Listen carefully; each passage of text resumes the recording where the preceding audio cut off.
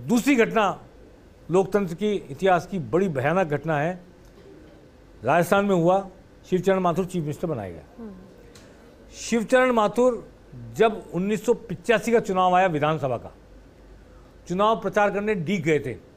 डीग में शायद पाँच बार या सात बार के विधायक थे राजा मान सिंह जो भरतपुर के राज परिवार के सदस्यों में से एक थे। वो लगातार निर्दलीय विधायक चुने जा रहे थे और वो उनको कोई चैलेंज नहीं कर सकता था डीग में इतने लोकप्रिय। राजा मान सिंह की होर्डिंग और पोस्टर पर शायद कांग्रेस ने अपने पोस्टर लगा दिए या फाड़ दी उनको होर्डिंग कुछ ऐसा हुआ था। उससे वो इतने गुस्से में आ गए कि वो राजा ही थे वो तो। सर वो था कि इन्हीं के परिवार से प्रत्याशी जो कांग्रेस पार्टी ने उतारा था वो इसी फैमिली से थे।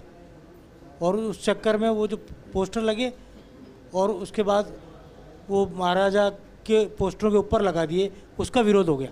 उससे वो नाराज़ हुए तो शिवचरण माथुर का हेलीकॉप्टर डीग में जहाँ हेलीपैड पर था, उस जमाने मशहूर गाड़ी होती जोंगा गाड़ी। उस जोंगा गाड़ी को लेकर राजा मान सिंह खुद चलाते हुए हेलीकॉप्टर तक गए और उन्होंने बचीड़ मार दी हेलीकॉप्टर के।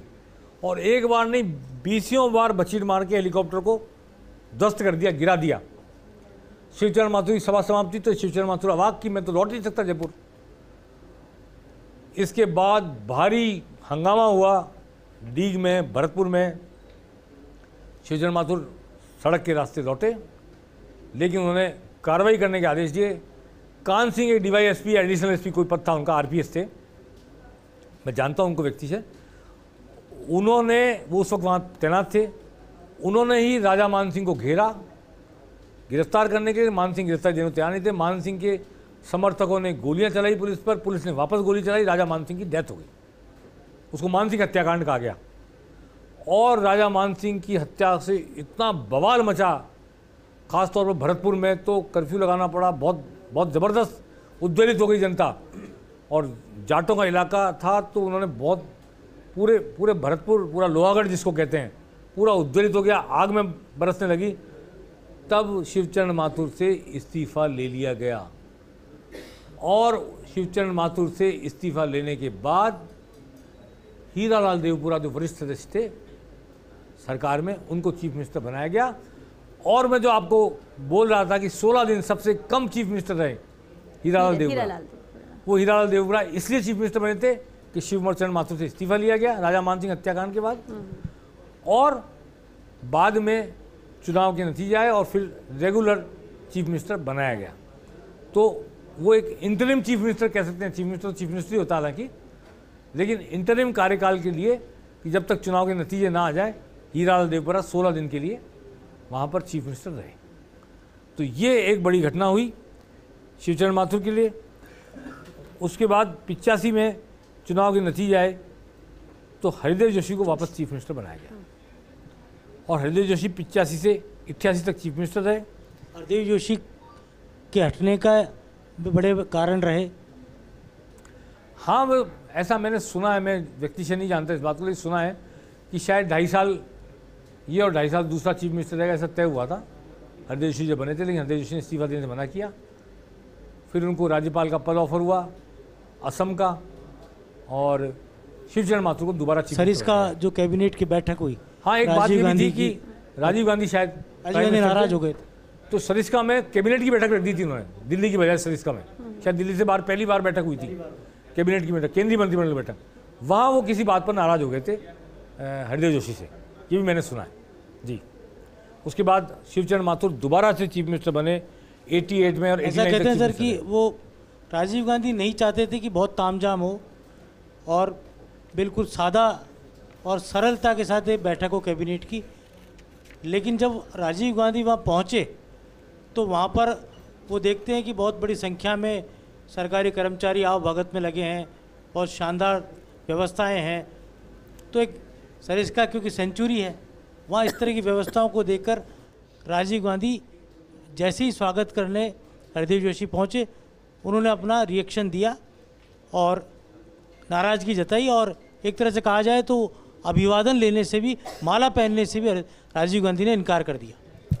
लगभग दो साल तक शिवचरण माथुर चीफ मिनिस्टर रहे, लेकिन बाद में हरदेव जोशी वापस लौट कर आए। और 89 में हरदेव जोशी वापस चीफ मिनिस्टर बने 90 तक रहे मार्च 90 तक फिर बाद में उनको असम का राज्यपाल बनाया गया। तो ये दो घटनाक्रम बहुत इंपॉर्टेंट थे।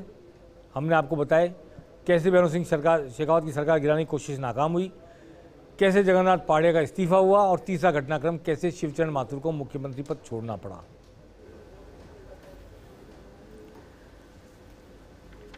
बिल्कुल। अ, बेहद अहम भी ये रहा है ये कार्यकाल और योगेश जी सबसे अहम तो ये भी हो जाता है कि एक के बाद एक और ऐसा नहीं कि नाम बहुत बड़े बड़े हैं लेकिन कितने पॉलिटिकली कितना उठापटक यहाँ पर हुई कि कोई एक साल में कोई सोलह दिन में ही और जैसी स्थितियाँ बनी वैसे यहाँ पर मुख्यमंत्री बनाए गए। लेकिन अगर उसके आगे बढ़ें जब एक बात तो साफ़ तौर पर थी कि कांग्रेस हाईकमान कितना पावरफुल उस जमाने में हुआ करता था। हरदेव जोशी इतने बड़े नेता मोहनलाल सुखाड़िया विराट व्यक्तित्व पल भर में उनको हटा दिया जाता है। और जगन्नाथ पाड़िया की तो घोषणा भी संजय गांधी इस तरीके से करते हैं कि एक भी विधायक पक्ष में नहीं था पाड़िया के और वो मुख्यमंत्री बन जाते हैं। बिल्कुल। और इसके अगर आगे बढ़े सर इसके बाद क्या हुआ कि नब्बे में चुनाव हो गए वापस। इक्यासी में पिचासी चुनाव हुए थे राजा मान सिंह हत्याकांड के में नब्बे में फिर चुनाव आ गए। नब्बे के चुनाव में प्रतिपक्ष जीत के आया बीजेपी जीत के आई भैरव सिंह शेखावत। मुख्यमंत्री में हालाँकि पूरा बहुमत नहीं मिला था उनको। लेकिन उस वक्त जनता दल का एक टुकड़ा जनता दल, जनता पार्टी विभाजित हो गई थी। जनता दल का एक टुकड़ा जो जीत के आया उनकी शायद पचास के आसपास सीटें थी, मेरे को ऐसा ध्यान पड़ता है। और इनकी 88 सीटें थी, बीजेपी की। 84 या 88 84 होगी। तो वो जनता दल दिग्विजय दिग्विजय सिंह उनियारा के एमएलए थे, उनियारा के राजा थे। उनके नेतृत्व में जनता दल दिग्विजय बना। आज जिन राजेंद्र राठौड़ को आप देख रहे हैं नेता प्रतिपक्ष, वो जनता दल छोड़कर जनता दल दिग्विजय में दिग्विजय सिंह के नेतृत्व में अलग हुए और भैरव सिंह शेखावत की सरकार को समर्थन दिया तो उनको सरकार बनाने के लिए समर्थन दिया और जनता दल दिग्विजय ने भैरव सिंह शेखावत के साथ सरकार चलाई। सावरलाल जाट भी उस वक्त जनता दल दिग्विजय से आए थे तो बाद में मंत्री बने केंद्रीय मंत्री बने राजेंद्र राठौड़ भी आए थे। कई नेताओं को मैं जानता हूँ जो कि संपत राम संपत सिंह और इस तरह के नेता जो सोशलिस्ट वर्ग था जो जनता दल के साथ चला गया था बीजेपी में नहीं आया था वो सब जनता दल से जनता दल दिग्विजय होकर के क्यों? पहले तो जनता दल और जनता भाजपा की सरकार थी। फिर जनता दल ने समर्थन वापस ले लिया था केंद्र में और बड़ा घटनाक्रम हुआ था उसके बाद ये सब हुआ। तो वो केंद्र की राजनीति थी लेकिन यहाँ पर उसका असर पड़ा। फिर जनता दल टूटा स्प्लिट हुआ जनता दल दिग्विजय के समर्थन से भैरव सिंह शेखावत मुख्यमंत्री बने रहे। उसके बाद बाबरी मस्जिद वाला मामला आया। और जब बाबरी मस्जिद गिरा दी गई उस दौरान राष्ट्रपति शासन लगा सरकार भंग की गई और उसके बाद दोबारा चुनाव हुए राष्ट्रपति शासन के बाद। और फिर भैरव सिंह शेखावत जीत के राम रथ यात्रा का दौर चला। हाँ उससे पहले रथ यात्रा निकली अडवाणी ने रथ यात्रा निकाली राम रथ यात्रा पूरे देश में मेरा निकाली सवाल था आपसे उस दौर में ऐसा कहा गया था कि रामदास अग्रवाल अध्यक्ष थे राजस्थान बीजेपी के। जी हाँ। और राम रथ यात्रा को जयपुर से आना था जयपुर क्रॉस करना था। भैरव सिंह शेखावत मुख्यमंत्री थे वो चाहते नहीं थे कि रथ यात्रा अंदर से जाए। अंदर आते कम्युनल राइट्स हो सकते थे। इस तरह की आशंकाएँ मुख्यमंत्री के नाते उनके जहन में थी लेकिन बीजेपी संगठन नहीं चाहता था। आरएसएस। और आखिरकार यात्रा अंदर से आई। बिल्कुल अंदर से आई। मेरा देखा हुआ दृश्य है एक गिल आईजी हुआ करते थे। उनको मैंने खुद को रस्सी थाम करके लोगों को रोकते हुए पीछे हटा देखा आईजी लेवल के व्यक्ति को। वो जो रथ यात्रा से निकली थी और वो पुराने जयपुर में निकल रही थी जहाँ पर पूरा मुस्लिम इलाका जिससे जुड़ा हुआ है रामगंज जुड़ा हुआ है वहाँ से निकल रही थी। सबकी सांस ऊपर की ऊपर नीचे की नीचे थी कहीं कुछ हो ना जाए पर रथ यात्रा निकल गई अडवाणी जी की। और अडवाणी जी की रथ यात्रा निकलने के बाद चुनाव हुआ था तो पूरे देश में राम लहर थी राम मंदिर की लहर थी धर्म सिंह शेखावत जीते लेकिन उनको भी उसके बाद 93 सीटें मिली थी। पूर्ण बहुमत बीजेपी को तब भी नहीं आया था। 200 लोगों की विधानसभा में तिरानवे सीटें आई थी भैरव सिंह शेखावत के पास। और भैरव सिंह शेखावत ने दूसरी बार बाड़ेबंदी की। बीजेपी ऑफ़िस में जहाँ आज बीजेपी ऑफ़िस है तिरानवे विधायकों में से अस्सी विधायक वहाँ ठहराए गए।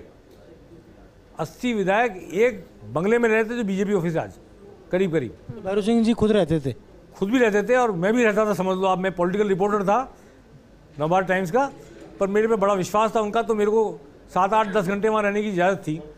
बस उनका एक स्टैंड था कि खबर जो छपनी वही छपनी मतलब आपको कुछ भी पता लगे। अब ये विश्वास कायम रखना पड़ता है। लेकिन मुझे इतनी सारी बातें वहाँ पता लगती थी अंदर।